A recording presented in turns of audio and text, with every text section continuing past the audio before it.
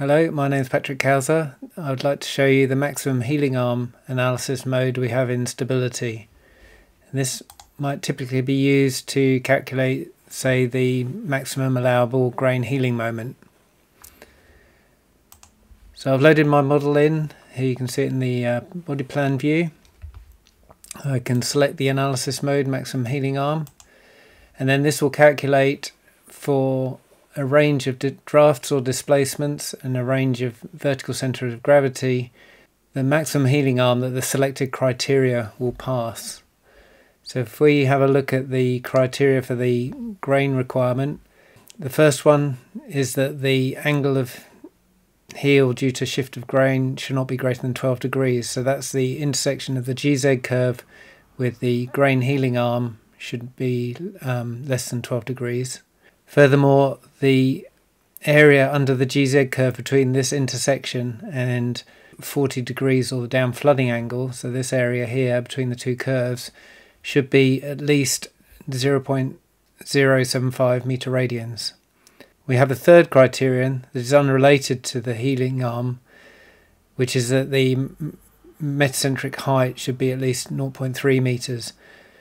So this would be analysed independently of this analysis that we're doing now, which is looking for the maximum heeling arm that we can have that still pass the first and second criteria. So basically we're moving this line up and down, looking for the maximum value where these two um, where these two criteria are satisfied.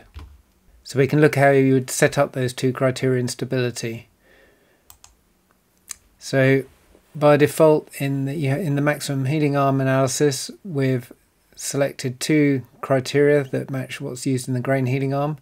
Of course you have a whole range of criteria that you can select from but they all require a single heeling arm. So the ones we got selected the angle of heel due to grain shift it's using the maximum grain heeling arm which is this one and that's the one that's going to be varied and we want the angle of equilibrium with that heeling arm to be less than or equal to 12 degrees. And then the second criterion is that area one. So we're looking at the area from the greater of 0 degrees and the angle of equilibrium with the heeling arm, that's the important one, up to either the lesser of 40 degrees or the first downflooding angle of the downflooding points.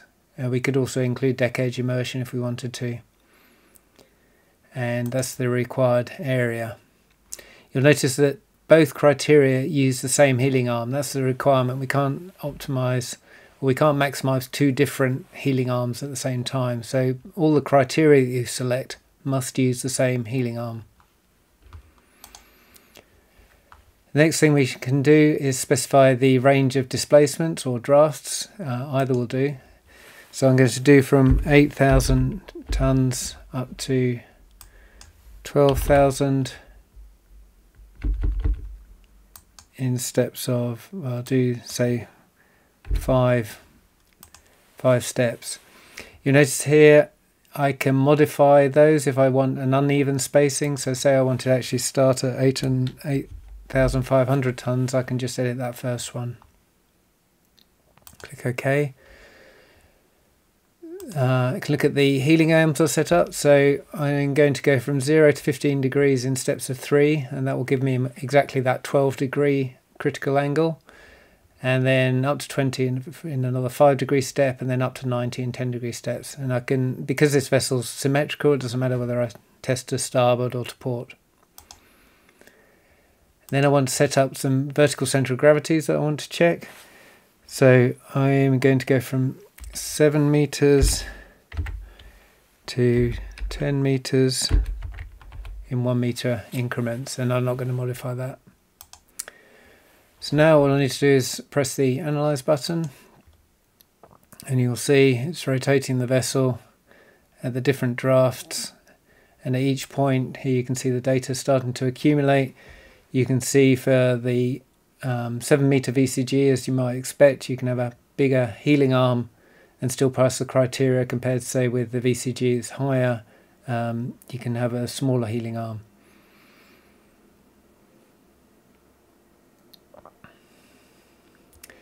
So here we've got the, the graph um, we can modify the layout a little bit if we like. So if I select that graph window, I can go to the data format table here, dialog, sorry. And for the graph, I can, I've got VCG datasets. So each dataset is for a different VCG. I could change that to each dataset would be a draft. And so instead of the axis here being displacement, I'd have the VCG and I can change it to a line graph if I prefer lines to dots.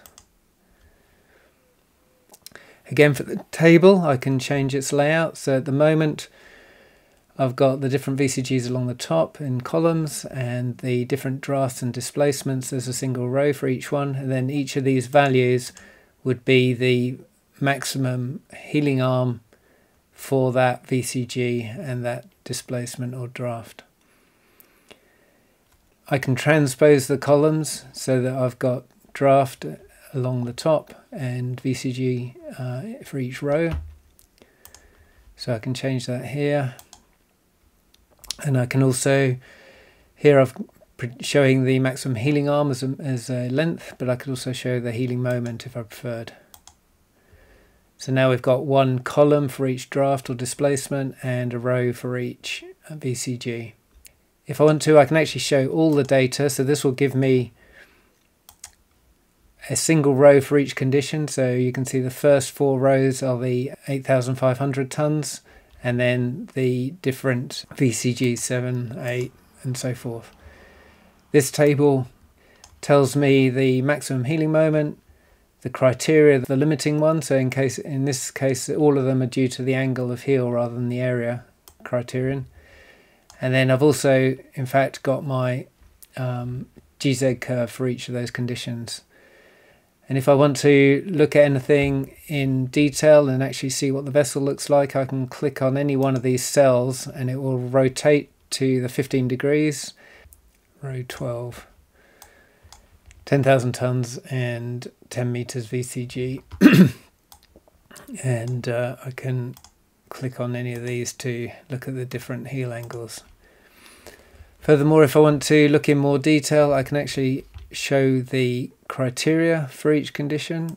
So again, this is the uh, 10,000 ton displacement, VCG 10 meters, and I can see that the angle here is spot on the 12, uh, 12 degrees, whereas the area is passing with a margin of 183%. I can also view the graph for the criteria. Showing the GZ curve and the maximum grain heeling arm. So if I put that on the intersection at 12 degrees and I can look at the different conditions and you can see that that is intersecting at the 12 degrees indicating that's the maximum heeling arm we can achieve within those criteria. So that sums up the maximum heeling arm analysis mode in Maxsurf Stability. Thank you very much.